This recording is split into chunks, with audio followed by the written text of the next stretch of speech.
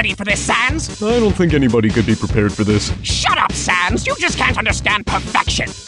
Attention, monsters! My name is Papyrus. I'm a skeleton made with magic bones and lots of cool. If you need proof, then look at my biceps because they're wearing sunglasses, and that clearly means I rule. My cooking skills unrivaled when it comes to spaghetti with sauce and pasta noodles extra long. And not a single creature has survived the dish. But Frisk just walked right past it. Sans, don't interrupt my song!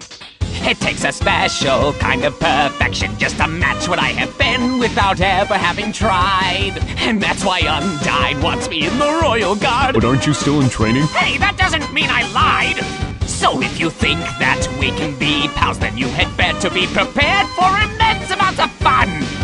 Unless you're human, and I'm afraid you'll be captured! But you kinda made friends with one. Sans! What? Stop plaguing my mixtape with incidental lyrics! I thought they sounded pretty good. Well, I think they sounded like not papyrus, which is the worst kind of sound to be. Oh.